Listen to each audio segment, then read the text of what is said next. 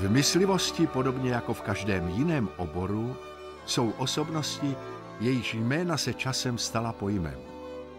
Pro myslivce a lesníky je takovou postavou profesor Josef Hromas. Profesora Hromase mám hrozně rád. Je to prostě můj dlouholetý přítel už od školy. Napřed to byl můj učitel a pak se s něj stal, dá se říct, jeden z mých nejlepších kamarádů. Já osobně neznám myslivce, který by neznal profesora Hromase a neznám lesáka z Vysoké školy zemědělské eh, z Brna, který by neprošel zkouškama u profesora Hromase. Je to člověk, který myslivostí žije. To, že je členem Mezinárodní hodnotitelské komise, je plně prakticky v nejlepších rukách, by se dalo říct, protože je to odborník a myslí s tělem a duší. Znám ho jako výtečného pedagoga na lesnické fakultě, znám ho jako spisovatele odborné literatury. Je to známo, že více jako 400 odborných článků publikoval, více jako 30 monografií byl autorem a spoluautorem. Já ho považuji za člověka nebo za tu generaci, která jaksi navazovala na nestory eh, české myslivosti, ale která vlastně myslivost povýšila na eh, vlastně vědecký obor. Je schopný poradit jednak starému myslivci, jednak úplně mladým začínajícím adeptom a myslím si, že nikdy se nestalo, že by svoji radu někomu odmítl. A myslím si, že je to osoba, která se eh, výrazně zapíše každému do paměti, když se s ní setká.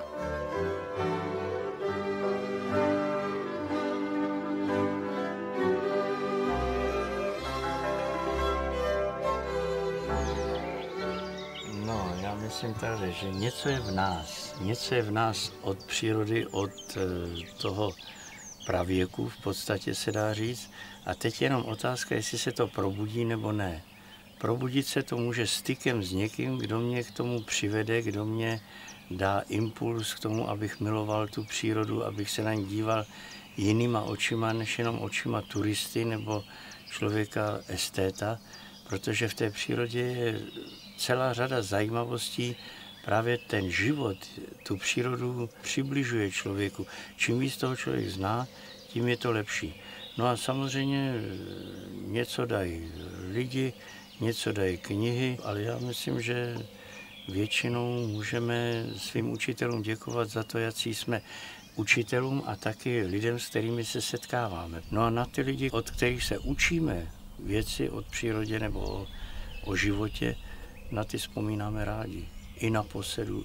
A já myslím, že nosíme v sobě. U dědy na vsi získal vztah ke všemu živému. Od dětství byl pracovitý. Pomáhal rodičům. Byl zvídavý a všímavý. Rád jedl a dobře se učil.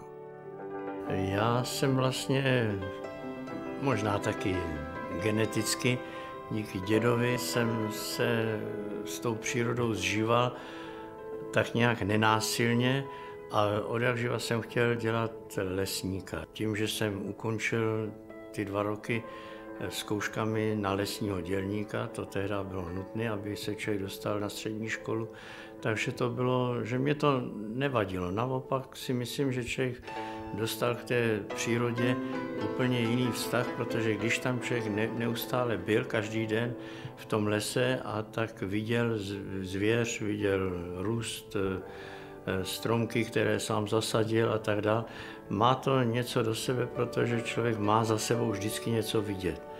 A taky před sebou samozřejmě. Mezitím jsem čet celou řadu literatury, ať už teda eh, odborné, anebo, nebo mm, beletrie, mám na mysli vrbu v podstatě, a jako kluk jsem samozřejmě četl Káju Maříka a tak dále, ale vrba ten na mě zapůsobil teda velice. Těch eh, beletristů tady bylo hodně a všichni dovedli vidět ten eh, soubor těch živých organismů v té přírodě naraz. Neviděli to jenom jako otržitou záležitost. A když potom jsem samozřejmě si udělal lovecký lístek, když si v Písku v 51. tak potom už jsem měl možnost i chodit lovit. A když chodí lovit, tak vidí zase tu přírodu trochu jinak. Já to nevidím jako vášeň, já myslím, že to je, že to je vztah. Vztah člověka k přírodě, ke všemu živému v přírodě. A to si já myslím, že to je i ta myslivost. No a potom jsem se dostal na střední školu do Hranic, kterou jsem ukončil, pak jsem přešel na vysokou školu, no a pak jsem začal dokonce učit myslivost. Bylo to hezký, protože tím se pro mě vlastně stal, stal povolání mým koníčkem. No a v 59. jsem tady nastoupil jako asistent a potom jsem tady zůstal, no a začal jsem vytvářet tyto sbírky a začal jsem sbírat různé materiály, vycpaniny, zbraně a tak dál, aby, aby ty študáci to měli přímo v rukách. Takže je to zelená a stáří je 3-4 roky. Já jsem právě tady ukázal, kolik milionů let tady trvaly ty vývoj řas, prvoků, potom jehličnanů, Eh, listnáčů a tak dále. A že ten člověk je tady z toho vývoje z té eh, země, že je tady vlastně poslední minutu. Teprve z těch 24 hodin, kdybychom si to tak představili. Kdyby nebylo myslivců a lovců, tak tady nemáme takovou kulturu a nejsme tady v té situaci, v jaké, v jaké se nacházíme. Člověk, když řekněme v té olduvajské rokli nebo tam v té Africe, slezl ze stromů, tak začal sbírat něco k jídlu a potom začal člověk tu zvěř tedy nejenom eh, lovit, ale začal si ji taky připravovat, zejména když pochopil význam ohně, že ten byl pro člověka ohromně významný. No a začal se teda taky dorozumívat. Ze začátku to byly asi nějaké jednoduché skřeky, ale z toho se nakonec vyvinula lidská řeč, čili lovectví a lidská řeč to sebou spolu souvisí. Dá se říct tak, že bez toho původního lovectví by tady asi dneska ten člověk nežil. V podstatě jsme nepřestali těmi lovci být. Někteří z nás eh, sbírají známky, někteří sbírají zase třeba eh, i peníze konec konců. Někdo zase má rád skalpy děvčat nebo podobně. Čili do dneška jsme svým původem a svým zaměřením lovci. Takovou vášeň, že bych se rozklepal, že bych dostal loveckou horečku, to už nemývám ale neříkám, že jsem ji neměl. Člověk zamíří a najednou se mu začne klepat puška v ruce a, není schopný zmačknout, anebo zmačkne a netrefí.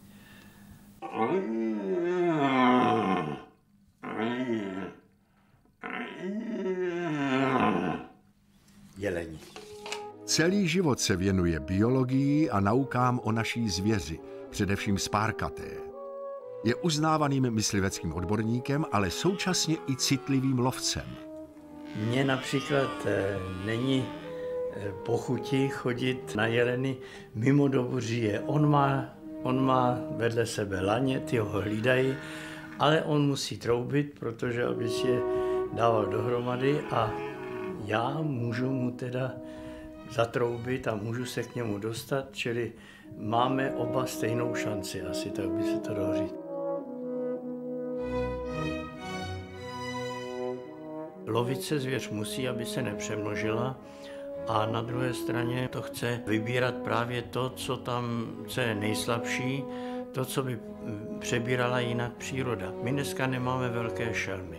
To je skutečnost, jenomže jak se začala ta naše krajina civilizovat, jak začali sem přicházet lidi, jak se začala namnožovat ta populace našich v té české kotlině a tady na Moravě, na Veslesku, tak to znamenalo, že lidi museli se zase živit něčím, museli chovat ovce, kozy, krávy, prasata. No a tady to začalo být neúnosné v souvislosti s těmi šelmami velkými, že?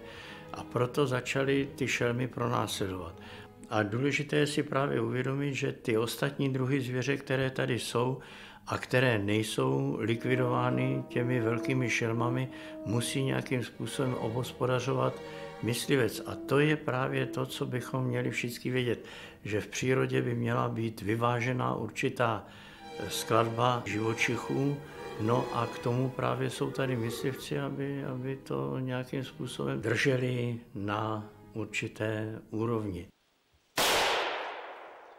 Někdo říká, že myslivec střílí. Teď to není pravda. Myslivec chová a konec konců to, že se něco připraví o život, kdybychom to brali takhle, tak bychom mohli říct, že zemědělci eh, chovají krávy, pak je zabijou. Chovají koně, chovají prasata, chovají králíky a tak dále, slepice, kačeny, pak je zabijou. To přece není tak jednoduchý říct, že budeme jenom chovat. To se nedá. To bych nesměl dělat nic prostě. Konec konců mě nejde o to, abych vystřílel něco. Mně jde o to, aby tam ta zvěř byla, ale aby byla stále v lepší kvalitě. Čili to je ta otázka průběrného odstřelu a odstřelu vůbec. Já si myslím, že málo kdo ví o životě v přírodě a o těch vztazích mezi živočichem, jeho životním prostředím víc než toho ví myslivec. Nejde nám o to mít jenom určité množství zvěře, to bylo ve středověku, ale my chceme, aby byla také kvalitativně na úrovni. A to je právě ten rozdíl mezi myslivostí dnešní a mezi myslivostí, řekněme, středověku nebo před sto letama ještě. 10, 7, 36, 6, 18, 3. Chovatelské přehlídky trofejí slouží k tomu, aby se posoudilo, co se v celém tom okrese za minulý rok eh, slovilo.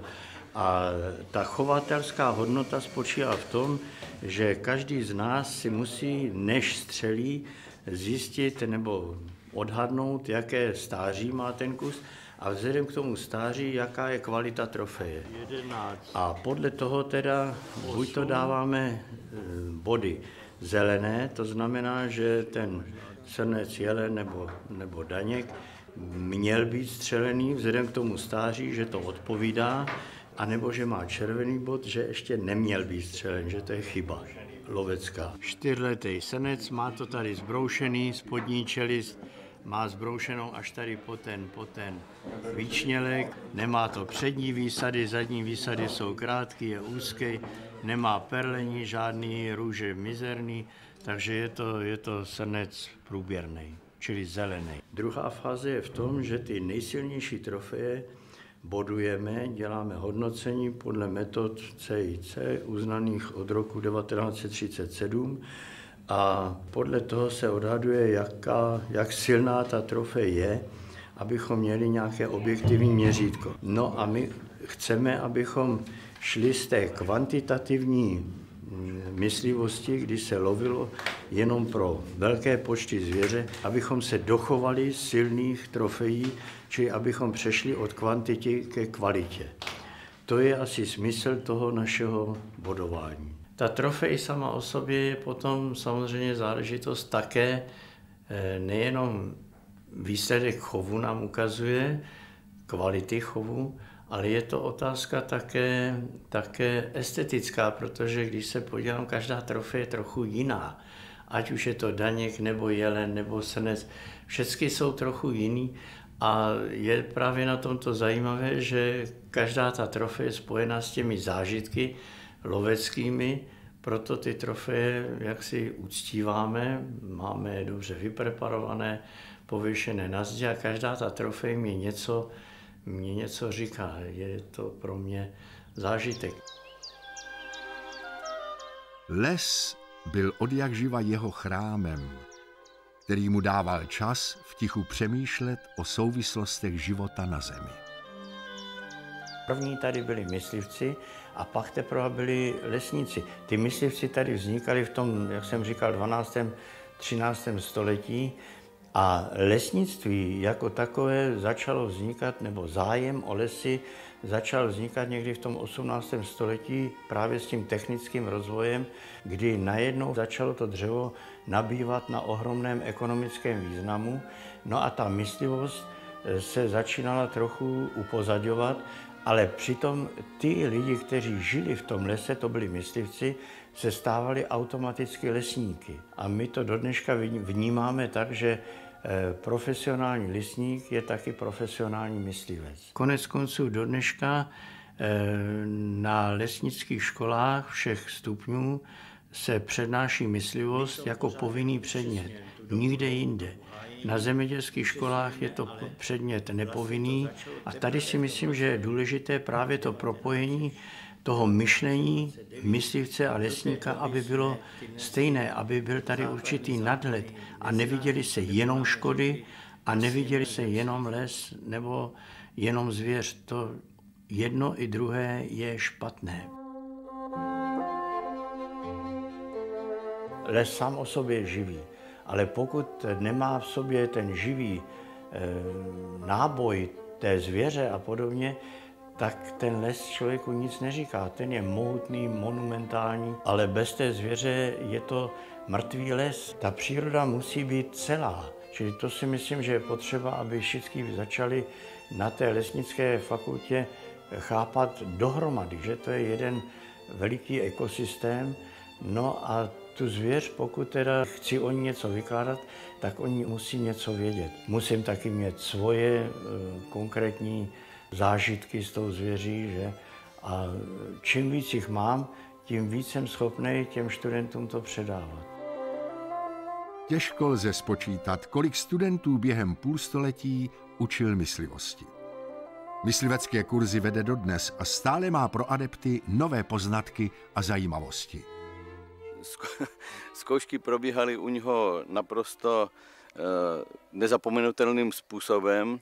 Eh, byl velmi vtipný, ale přitom si udržoval odstup velký od nás. Vědělo se vždycky v kanceláři, že na pravé straně má eh, silné siky a na levé straně má slabé jeleny. A jedna z otázek byla, co je to, jestli je to sika nebo je to jelen. Bylo tam 30 žáků na, na započty, tak je zval jednoho po druhém, říká, co to je, všichni věděli vpravo sika, vlevo jelen, tak všichni sika jelen, sika jelen. Nechali stát za dveřma, pak otevřel dveře, říká, pitomci, dneska jsem to vyměnil. Na Valtice a lednice na Jižní Moravě jsou místa, kde tráví dovolené. Černý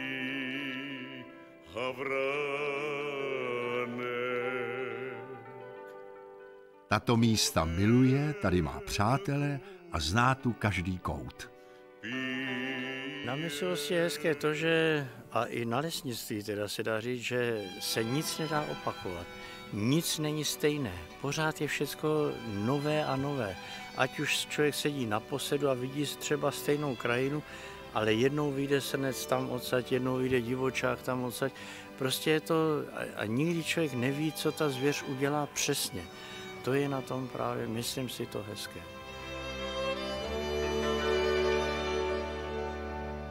vodenku pije. I see you, Kali,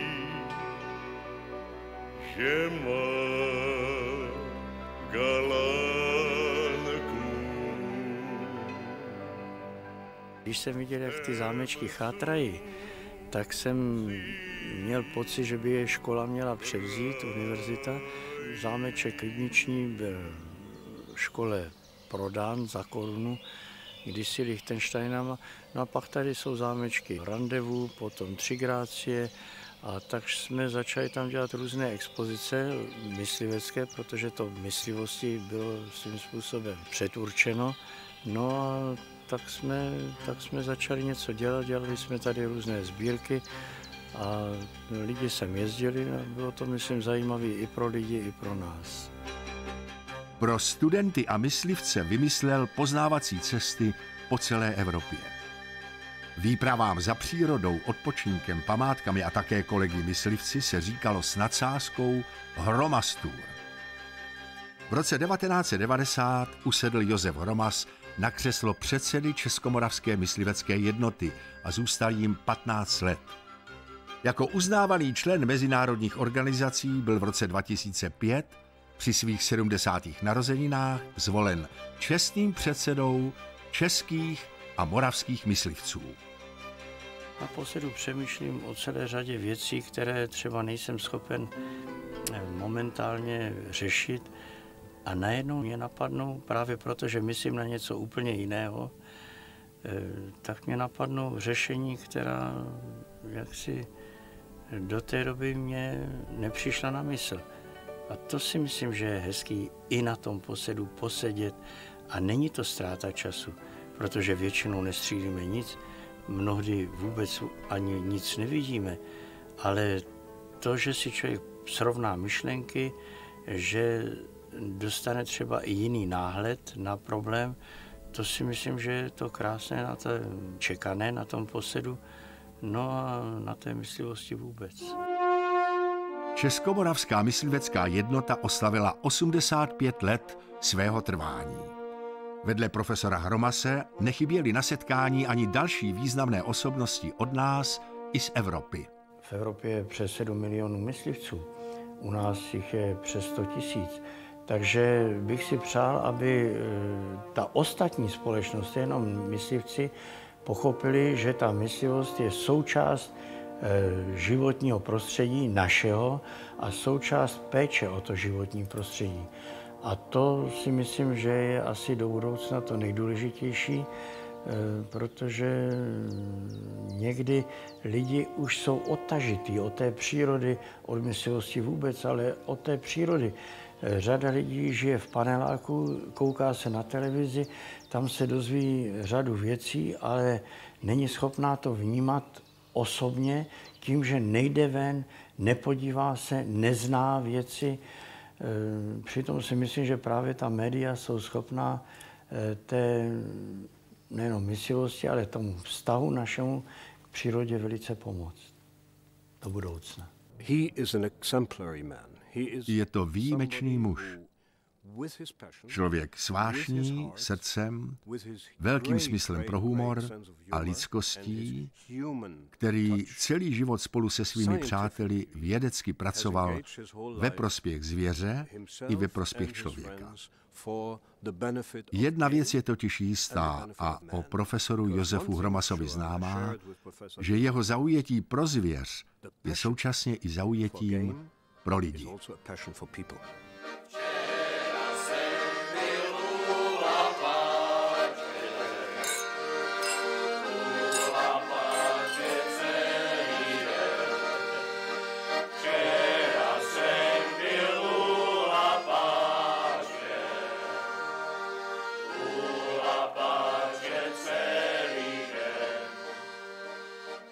to charisma, že jo, obrovský, který on má a právě, když se to skloubí i s tou odborností, jo, a s tím i citem bych řekl pro tu myslivost, protože on žije tou myslivostí i srdíčkem, jo, tak to je právě to, proč eh, se s ním lidi rádi setkávají a proč eh, ho znají právě i ve světě. Já si myslím, že když člověk je jako učitel, tak má hlavně velikou radost, že má, nachází své pokračovatele. Zejména když oni chápou to, co jim chci říct, znají moje myšlenky nebo budou si je předávat.